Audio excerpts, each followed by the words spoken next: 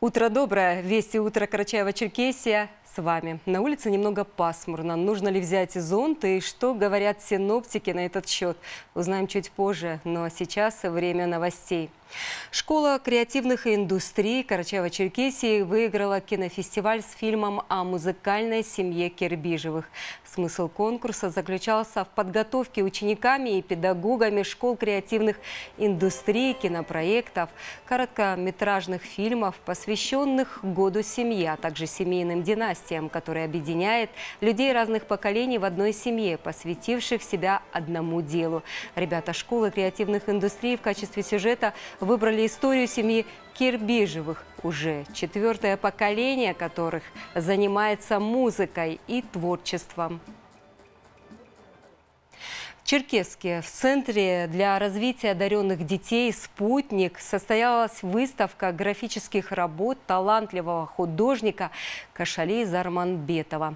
На этот раз она была посвящена великому поэту Александру Сергеевичу Пушкину. Художник является большим поклонником творчества писателя и рассказал нашей съемочной группе об экспозиции. Альбина Курачинова-Кенджева подробнее. У заслуженного художника республики Кошали Зарманбетова много наград и регалий, но сам он по натуре очень скромный человек. Для него счастье родиться в один день с великим Александром Сергеевичем Пушкиным. Поэтому художник ежегодно организовывает выставку в честь Пушкина. Экспозицию «Золотой кочевник» открыла графическая работа в исполнении Зарманбетова. Питер, где я учился, объединил там э, город, детское село, в котором он жил. Вообще, я когда мальчиком был, интересна истории. Поэтому там же обучился, э, многое увидел. Поэтому э, выставка, в общем, называется «Везде, где я бываю», в зарубежном везде, одним названием «Золотой кочевник». Почему? Первые три буквы моей фамилии Зар означает «золотой». Первые три буквы моей имени Кош означает «кочевник». Кушали Зарманбетов делится, что стал фанатом творчества Пушкина с самого детства, и именно оно стало отправной точкой к миру прекрасного. Эти работы в основном э, все новые, э, потому что у меня были больших размеров, какие-то уменьшил, но я не люблю повторять. Если даже я делаю силуэтом одинаково, где-то что-то добавляю, где-то обрамления какие-то больше поставил там, где народу, потому что в других странах интересуются, потому что это наша история, наш фольклор. Поэтому мне интересно работать почему графикой, потому что много э, удобств, средств не надо. На мероприятии присутствовали поклонники творчества известного художника. Студенты и учащиеся все в один голос говорили, как это здорово прикоснуться к творчеству Зарманбетова.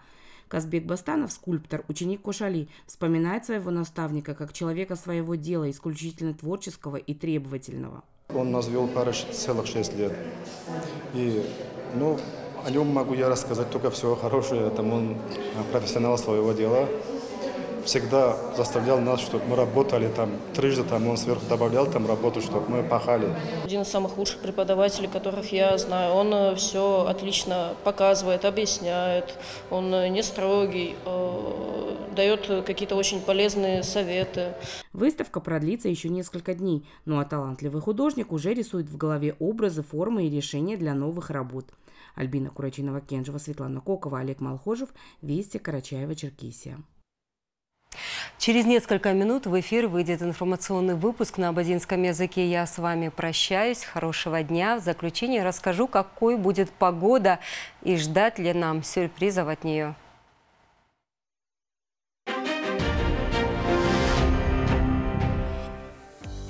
Карачаево-Черкесии местами кратковременный дождь, гроза в отдельных районах сильный. Ветер западный с переходом днем на восточный 5-10 метров в секунду. Температура воздуха ночью плюс 9 плюс 14, в горах плюс 3 плюс 8. Днем плюс 23 плюс 28, местами плюс 14 плюс 19 градусов. В Черкеске кратковременный дождь, гроза. Ветер западный с переходом днем на восточный 5-10 метров в секунду. Температура воздуха ночью плюс 12 плюс 14, Днем плюс 26, плюс 28 градусов.